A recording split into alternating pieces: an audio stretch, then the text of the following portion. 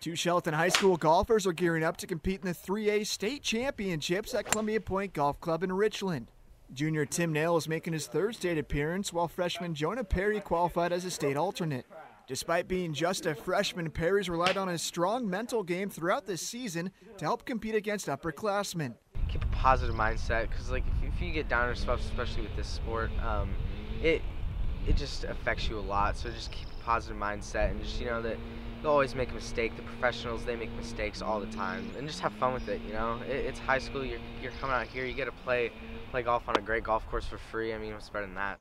After missing the cut at the state championships his freshman season, high climber Tim Nail placed 35th last year as a sophomore.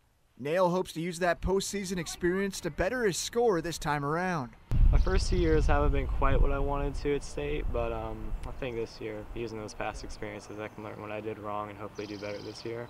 Shelton head golf coach Mark Jensen is proud of the progress his team made throughout the season. He likes the competition he saw between teammates on the course and thinks that friendly motivation will only help his golfers in postseason play. They pushed each other, which has always been good. You know, it's whether you listen to Pete Carroll or whoever, you know, they all talk about having competition within your ranks so that you get used to it.